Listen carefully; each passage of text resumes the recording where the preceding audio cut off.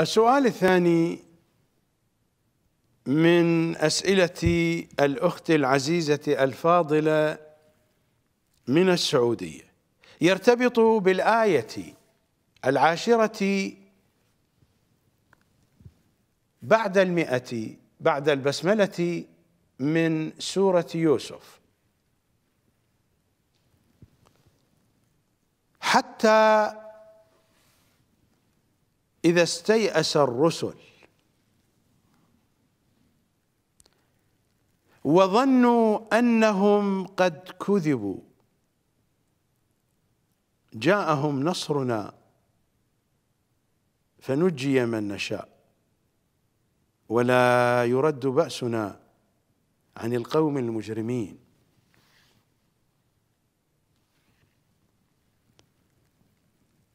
هذه الآية من الآيات المركزة جدا.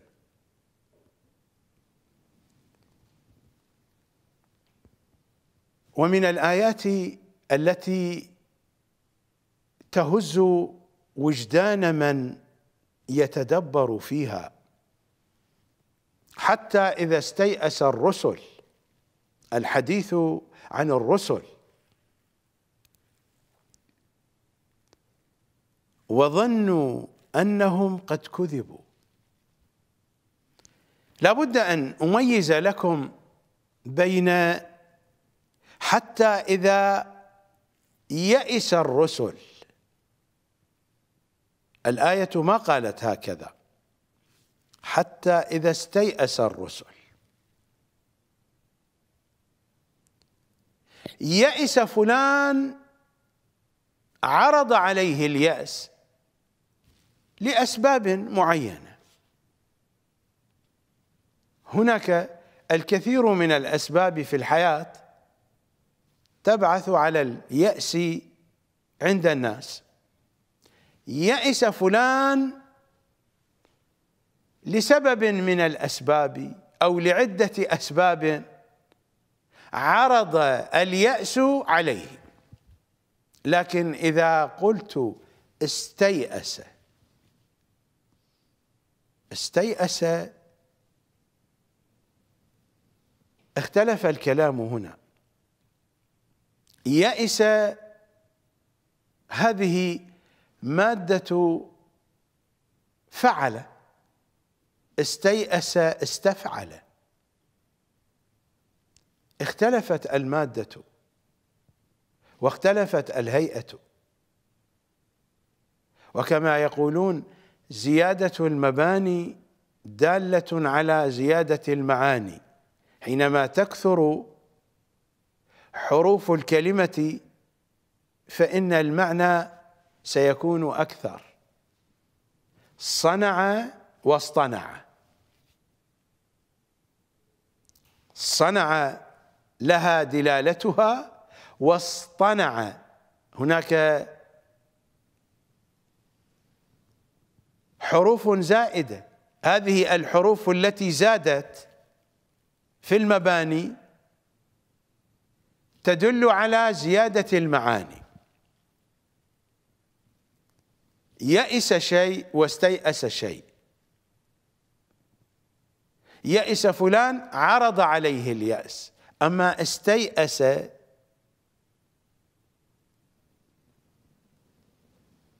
فإنه يذهب بنفسه باحثا عن الأسباب التي تجعله يائسا.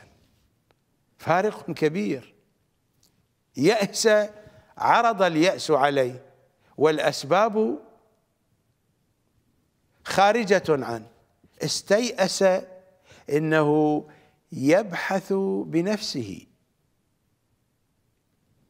ويحاول أن يجد الأسباب التي يبني يأسه عليها. لماذا؟ لكثرة معاناته. الآية خطيرة خطيرة جدا. حتى إذا استيأس الرسل وظنوا أنهم قد كذبوا وصلهم من المعلومات ما ليس صحيحا. ماذا تقول الروايات والأحاديث؟ هذا تفسير القمي جامع من جوامع أحاديثنا التفسيرية الطبعة طبعة مؤسسة الأعلمي. بيروت لبنان صفحة 334 بخصوص الآية التي أتحدث بصددها حتى إذا استيأس الرسل وظنوا أنهم قد كذبوا جاءهم نصرنا. بسند القمي عن أبي بصير عن إمامنا الصادق صلوات الله عليه.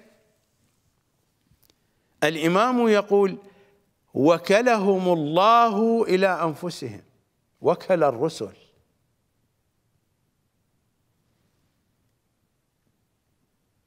وكلهم الله إلى أنفسهم. الرسل شيعة. هذا ما هو بأمر مستغرب. الرسل شيعة.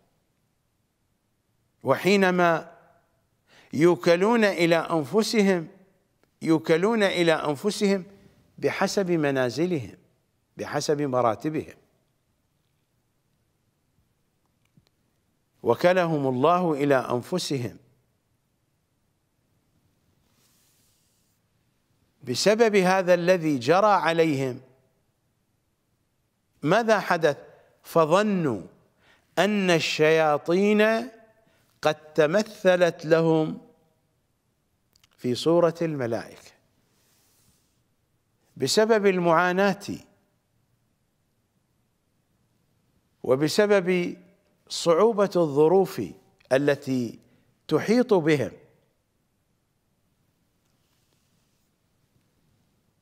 الله سبحانه وتعالى وجد ما وجد فيهم فوكلهم إلى أنفسهم. هم لم يظنوا سوءا بالله ولم يظنوا سوءا بالملائكة ولم يظنوا سوءا بدينهم. ولكنهم هكذا حللوا الأمر من أن المعلومات التي وصلتهم والتي أخبرتهم على سبيل المثال من أن النصر قريب هذه المعلومات لم تكن من الله ولم تكن من الملائكة وإنما قد اخترقوا من البرنامج الإبليسي من الشياطين. إبليس أرسل شياطينه إلى الرسل وخيلوا إليهم أنهم ملائكة وخدعوهم فالرسل لم يسيئوا ظنا بالله ولم يسيئوا ظنا بالملائكة وإنما هكذا حللوا الأمر حينما وجدوا الطريق أمامهم مغلقه طريق الحق طريق مرير طريق مرير. يعمل العاملون فيه ولا يلمسون نتيجة. لا يلمسون نتيجة.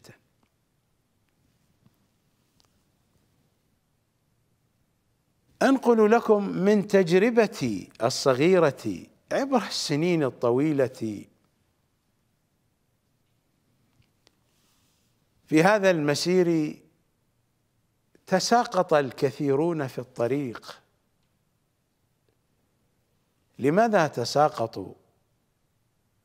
قد يضعون اسبابا واسبابا لكن السبب الحقيقي أنهم لا يلمسون نتائج دنيوية في هذا الطريق.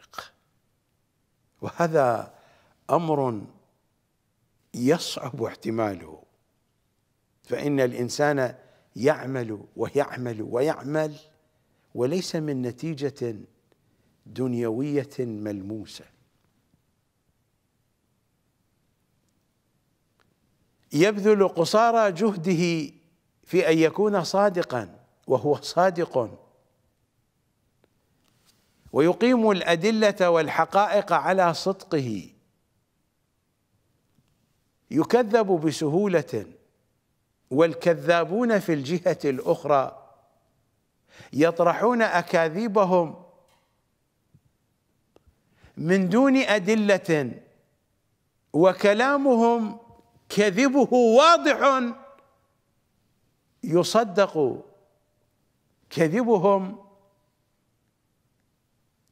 ويكذب الصدق الذي تقوم عليه الأدلة والحقائق والبراهين.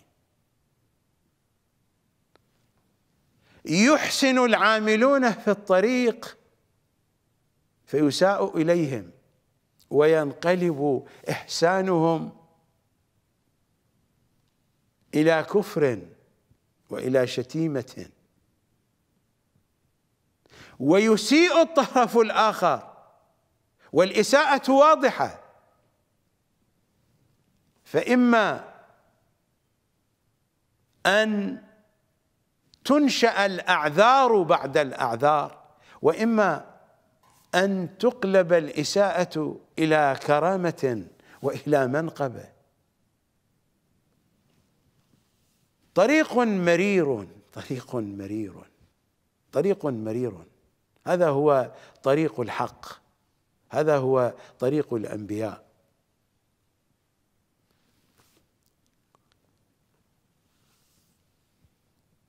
حينما تحاصرهم تحاصرهم.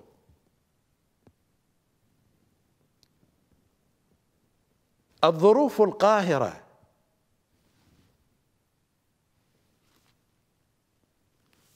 ويكون ما يكون. على أي حال نحن والروايات. وكلهم الله إلى أنفسهم قطعا لضعف فيهم. وكلهم الله إلى أنفسهم قطعا لضعف فيهم. لكنه ما هو بضعف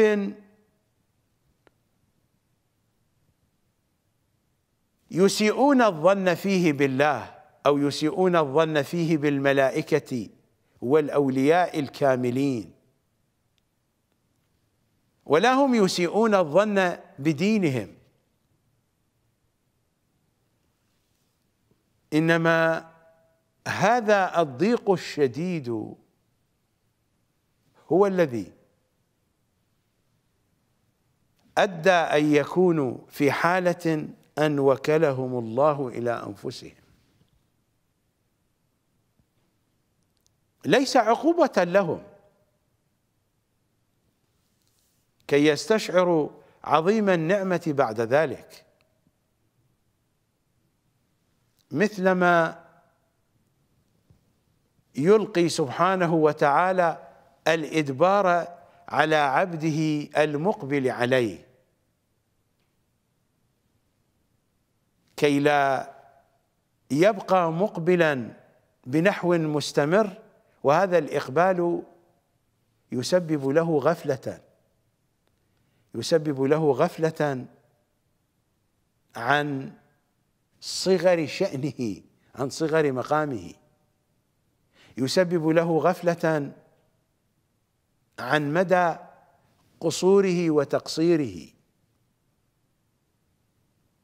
فلا يكون المؤمن مؤمنا حتى يرى الخلق إلى الله كالأباعر ثم يعود إلى نفسه فيراها دون ذلك. فإذا كان العبد مقبلا وكان القلب منفتحا للتواصل مع الله للتواصل مع محمد وآل محمد في العبادة في المناجاة وفي العمل والطاعة. واستمر العبد على هذا الحال فإنه شيئا فشيئا حينما يتراكم الإقبال عنده سيدخل في غفلة عن صغر شأنه وعن قلة حاله. وعن ضعف مقامه. سيتصور أنه قد صار في المنازل العالية. فلا بد أن يلقى عليه الإدبار ليس عقوبة. هو لم يكن في مقام يستحق أن يعاقب لكنه يلقى عليه الإدبار.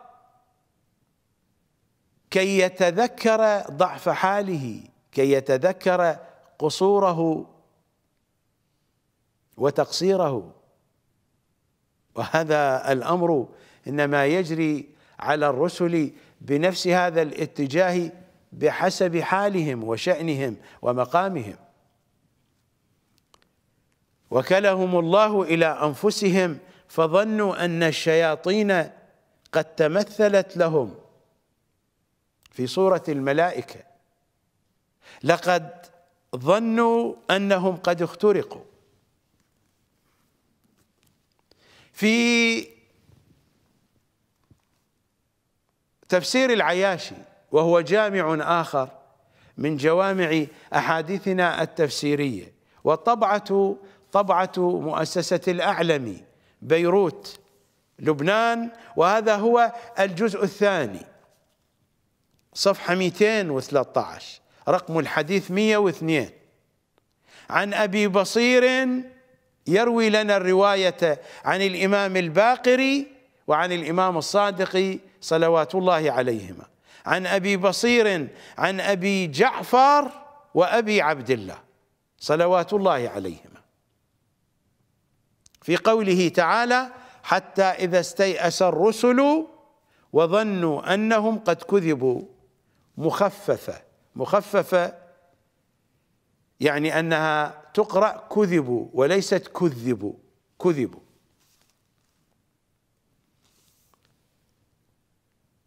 قال ظنت الرسل أن الشياطين تمثل لهم على صورة الملائكة. هذا المضمون جاء مرويا عن الإمامين. عن الإمام الباقر والإمام الصادق صلوات الله وسلامه عليهما. المضمون هو هو الذي قرأته عليكم من تفسير القمي ظنت الرسل أن الشياطين تمثل لهم على صورة الملائكة.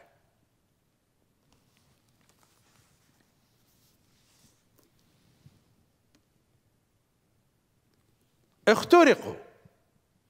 اخترقوا من قبل الشياطين. المعلومات التي وصلت إليهم لم تكن في مستوى القطع. ولذا ظنوا ما ظنوا.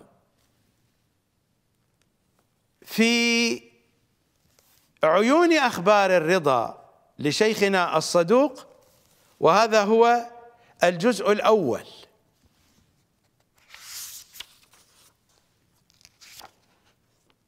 الباب الخامس عشر الحديث الأول حديث طويل مفصل حديث إمامنا الرضا في مجلس المأمون العباسي وهو يسأله عن أحوال الأنبياء. صفحة 179 من طبعة مؤسسة الأعلم بيروت لبنان. فقال المأمون لله درك يا أبا الحسن. يخاطب إمامنا الرضا. فأخبرني عن قول الله عز وجل حتى إذا استيأس الرسل وظنوا أنهم قد كذبوا جاءهم نصرنا. قال الرضا صلوات الله عليه. يقول الله عز وجل حتى إذا استيأس الرسل من قومهم وظن قومهم أن الرسل قد كذبوا جاء الرسل نصرنا. فقال المأمون لله درك يا أبا الحسن. إمامنا الرضا لم ينفي المضمون الذي جاء في أحاديث الباقر والصادق وإنما ذكر جانبا من الحقيقة تحدث عن أقوامهم عن أقوام الرسل. إذا كان الرسل قد جرى ما جرى عليهم فمن الطبيعي سيجري هذا على أقوامهم. فليس هناك من تضارب وتناقض وتعارض بين ما جاء في هذه الروايات والأحاديث الشريفة. ما جاء عن إمامنا الباقري وعن إمامنا الصادق من أن الرسل قد أوكلوا إلى أنفسهم فكان الذي كان منهم. هذا الكلام لا يتعارض مع كلام إمامنا الرضا. لابد أن نعرف من أن إمامنا الرضا في مجالس المأمون كان يظهر جانبا من سيرة الأنبياء لأجل أن يدفع الإشكالات في أذهان الذين يشكلون على محمد وآل محمد من أن الأنبياء ما هم بمعصومين. فكيف يكون محمد وآل محمد من المعصومين؟ كيف يكون آل محمد من المعصومين؟ عصمة محمد عند النواصب ما هي بعصمة حقيقية كاملة؟ لا أريد أن أناقش كلامهم لا شأن لي بهم لهم دينهم ولي ديني. حتى عند نواصب سقيفة بني نجف. عصمة النبي ليست كاملة. عودوا إلى الطفس عودوا إلى الخوء عودوا إلى البقية. فهم يتحدثون عن عصمة ناقصة لمحمد صلى الله عليه وآله فما بالكم بآل محمد؟ فعصمتهم ناقصة عند مراجع حوزة الطوسي عند مراجع حوزة النجف وكربلاء. كتبهم دالة على ذلك. أنا لا أريد أن أتحدث عن قبائح عقائد مراجع حوزة النجف وكربلاء في محمد وآل محمد. فلقد تحدثت عنها كثيرا وبالوثائق والحقائق والدقائق. عودوا إلى برامج المنتشرة على الشبكة العنكبوتية وتتبعوا الحقائق بأنفسكم. أو تابعوا ما يعرض على هذه الشاشة على شاشة قناة القمر الفضائية. إمامنا الرضا في أحاديثه في مجالس المأمون كان يحاول أن يدفع كل إشكال يثار على الأنبياء.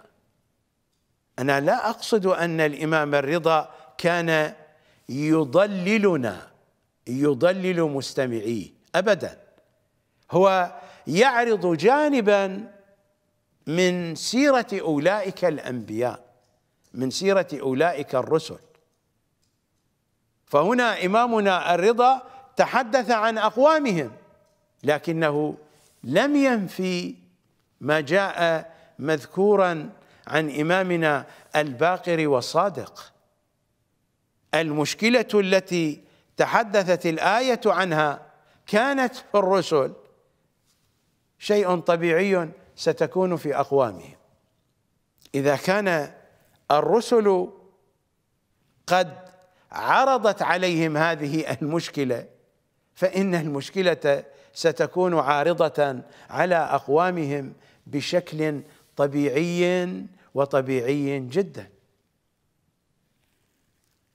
حتى إذا استيأس الرسل وظنوا أنهم قد كذبوا جاءهم نصرنا وحينئذ سيرتفع الإشكال سيرتفع الإشكال من الرسل وسيرتفع الإشكال من أقوامهم أيضا.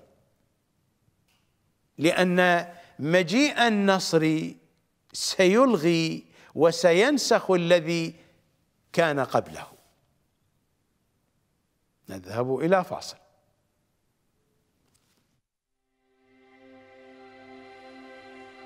عن عبد الرحمن بن كثير. قال كنت عند أبي عبد الله إمامنا الصادق صلوات الله عليه. إذ دخل عليه مهزم الأسدي. فقال أخبرني. جعلت فداك متى هذا الأمر الذي تنتظرونه؟ فقد طال فقال يا مهزم كذب الوقاتون وهلك المستعجلون ونجا المسلمون وإلينا يصيرون. عن محمد بن مسلم عن إمامنا الصادق صلوات الله عليه. قال من وقت لك من الناس شيئا فلا تهابن أن تكذب. فلسنا نوقت لأحد وقتا.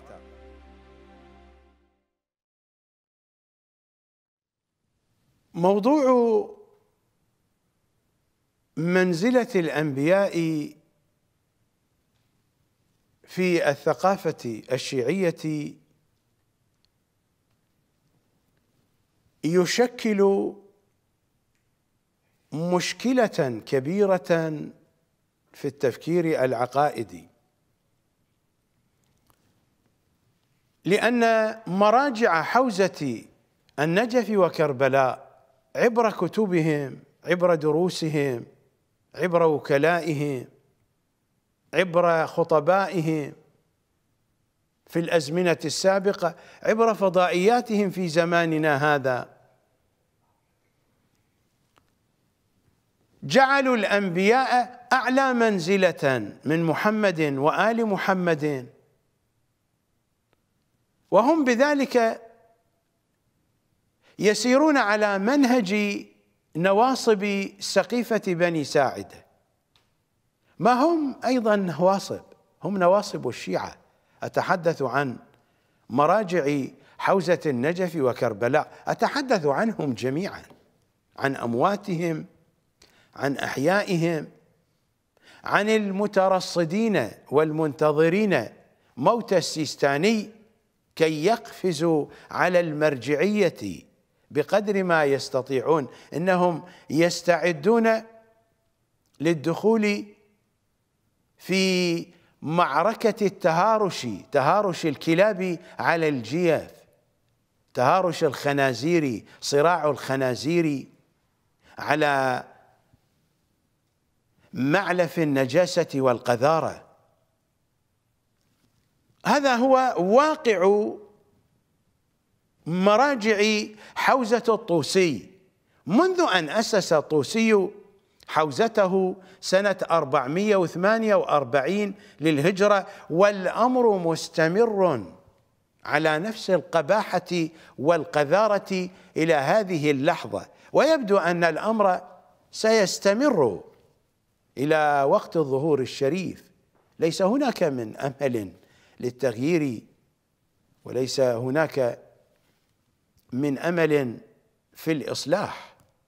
هذا هو الذي يدل عليه الواقع الشيعي التافه الوسخ البائس بسبب آيات الله العظمى من الكذابين السفلة الذين يدعون أنهم على دين محمد وآل محمد وهم على دين سقيفة بني ساعدة. هذه هي الحقيقة من الآخر. والمشكلة هي المشكلة من أن الشيعة لا زالوا حبيسين في مرحلة التنزيل. الكلام عن الأنبياء ومن أنهم العنوان الأول في الدين هذا منطق دين الأعراب منطق مرحلة التنزيل. العنوان الأول في الدين محمد وآل محمد. والأنبياء من شيعتهم. وفي شيعة محمد وآل محمد من هو في المراتب العالية التي تكون أعلى من مراتب الأنبياء من شيعة محمد وآل محمد صلوات الله وسلامه عليهم أجمعين.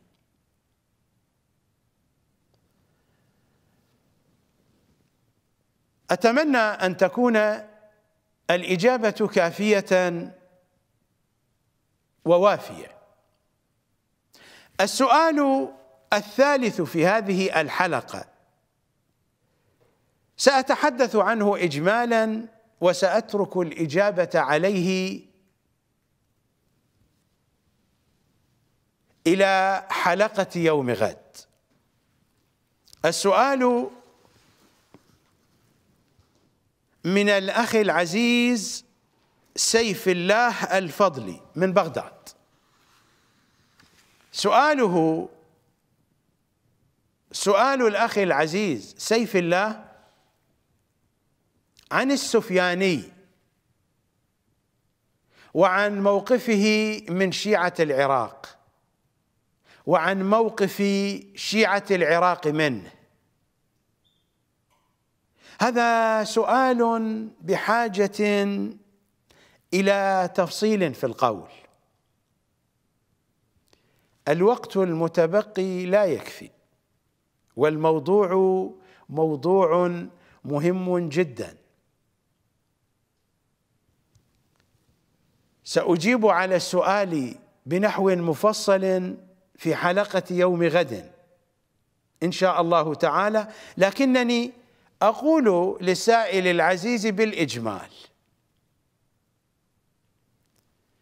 هناك روايات في كتب المخالفين لا أريد أن أشير إليها. قد أشير إليها اجمالا في حلقة يوم غد إن كان هناك من متسع من الوقت.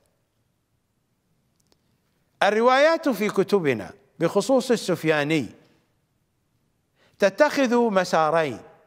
المسار الأول من أن السفيانية سيكون في حالة عداء شديد ومستمر مع شيعة العراق عموما ومن أن شيعة العراق عموما سيكونون في حالة عداء مستمر وشديد معه. هذا المضمون ورد في رواياتنا. هذا المسار الأول.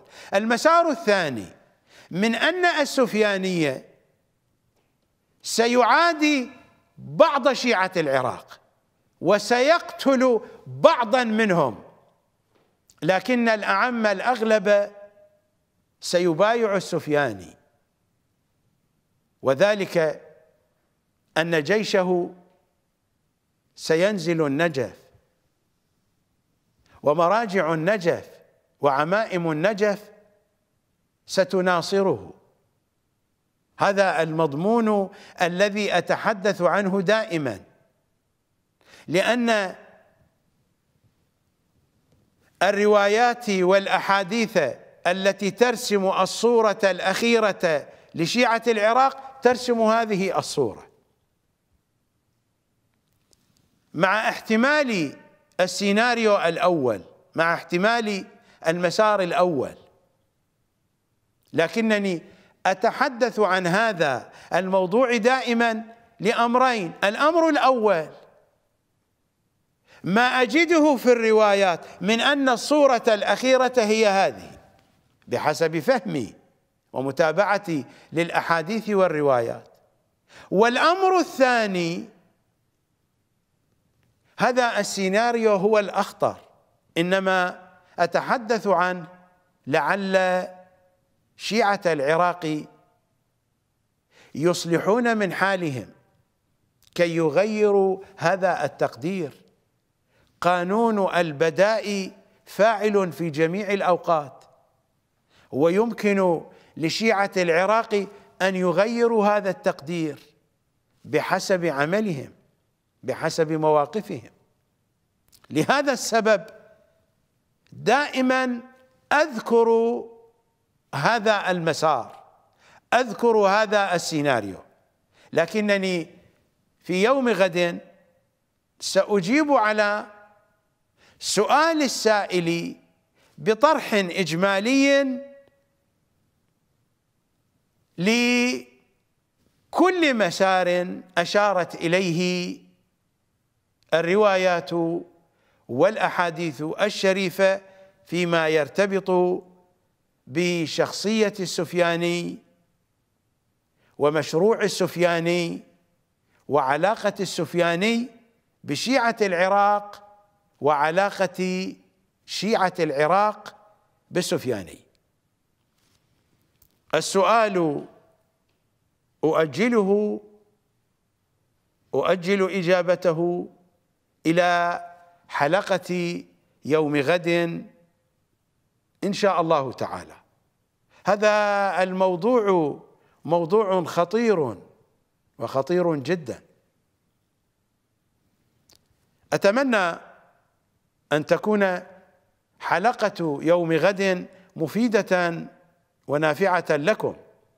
إنني أتحدث مع الذين ينتظرون إمام زمانهم مع الذين عيونهم على الدرب يترقبون الأحداث والوقائع والعلائم والإشارات.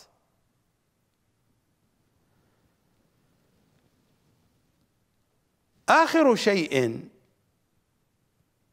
أريد الإشارة إليه لكن بعد الفاصل.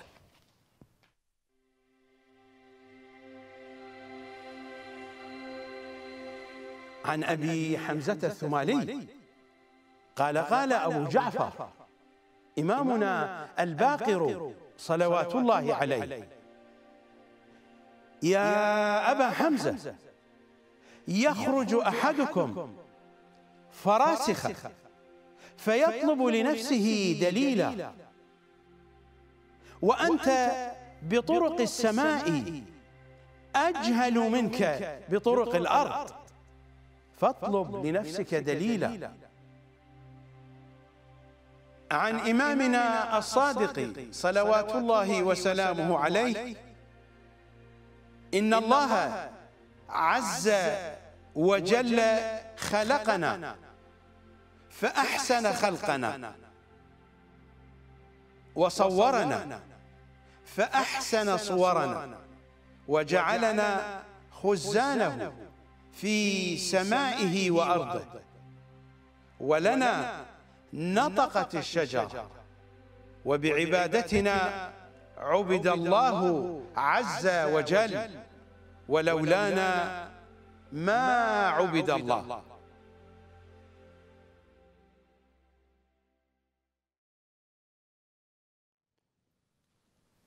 رسالة شفهية شفوية. وصلتني من النجف قبل أن أدخل إلى الاستوديو.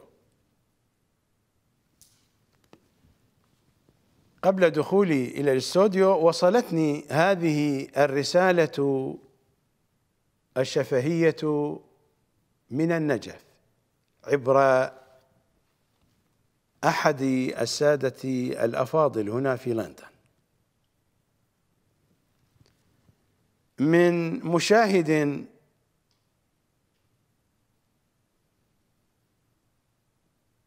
كان يشاهد حلقة يوم أمس فاتصل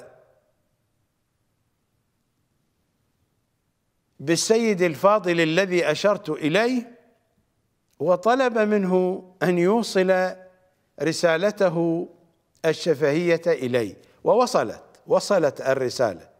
ما هو مضمونها؟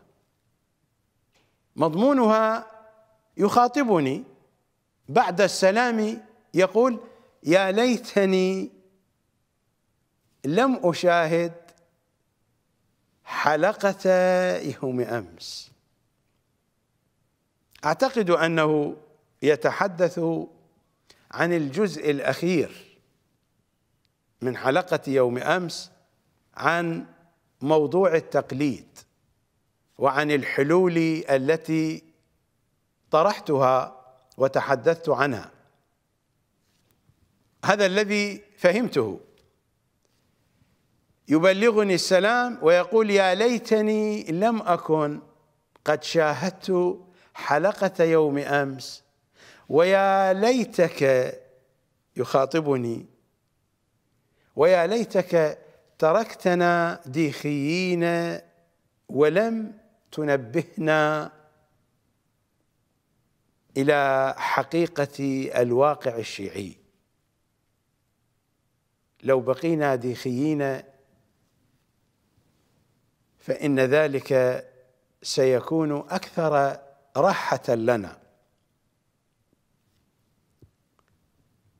أنا أقرأ مضمون الرسالة ليس في ألفاظها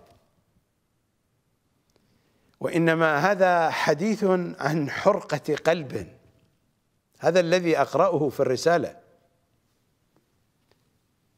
إنه لا يقصد الدلالة اللغوية لهذه الكلمات. إنه يتحدث عن حرقة عن حرقة قلب.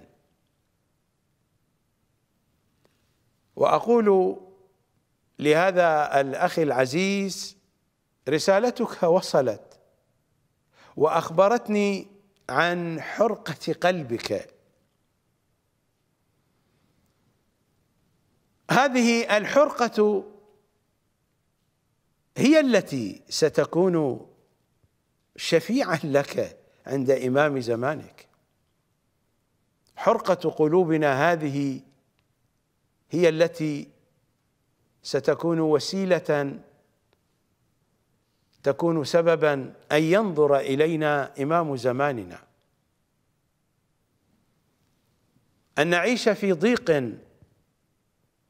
في فناء إمام زماننا أفضل تريليونات المرات أن نعيش في سعة بعيدا عن فنائه. أن نعيش في حيرة في حيرة في فنائه. أفضل تريليونات المرات من أن نعيش في هدأة بال وفي استقرار نفسي مصطنع مكذوب. بعيدا عن فنائه. أن نعيش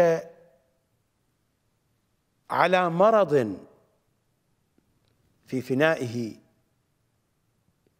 أفضل تريليونات المرات من أن نعيش في عافية جسدية بعيدا عن فنائه وفي جوار فناء البتريين والمرجئيين والمقصرين بعيدا عن منهج العترة الطاهرة.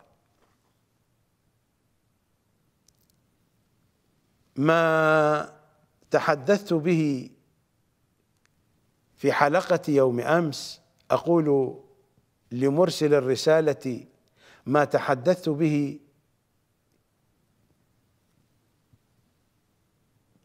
هو الحقيقة بعينها. هو وصف للواقع الشيعي البائس. هذا هو واقعنا. المسؤولية تقع علي وعليك وعلى الجميع.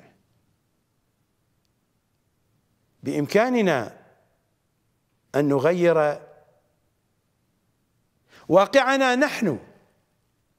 لا شأن لنا بأصحاب العمائم فليبقوا على ضلالهم وليبقوا على بتريتهم وليذهبوا إلى الجحيم بحوزتهم.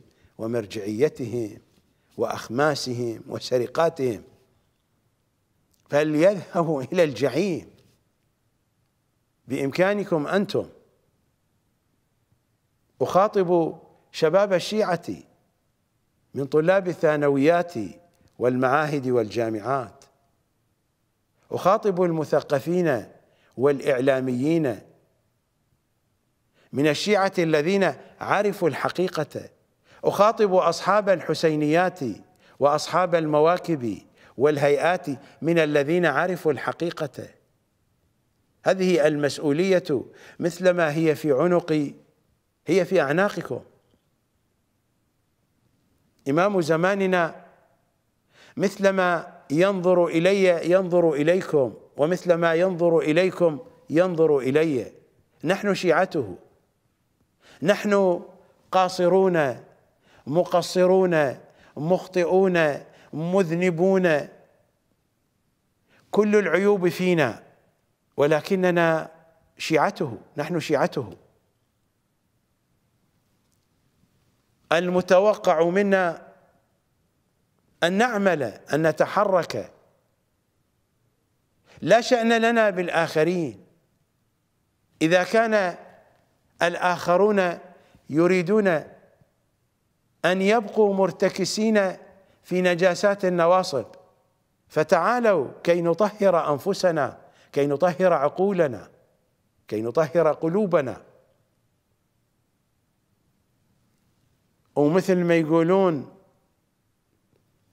قطرة قطرة تمتلي الجرة. الوقت في صالحنا من جهة وليس في صالحنا من جهة أخرى. إذا لم نسرع في العمل فإن الوقت ليس بصالحنا. وإذا أسرعنا في العمل فإن الوقت بصالحنا.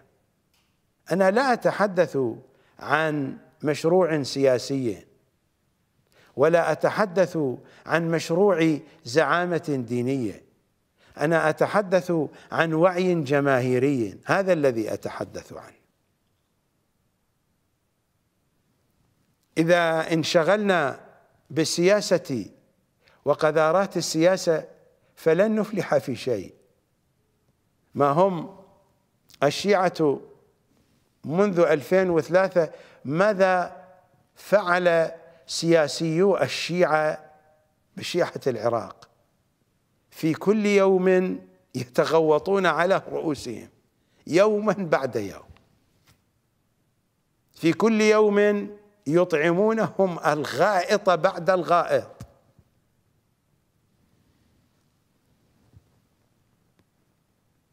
لا شأن لنا بهؤلاء السياسيين ولا شأن لنا بالزعامات الدينية التي هي أسوأ من السياسيين.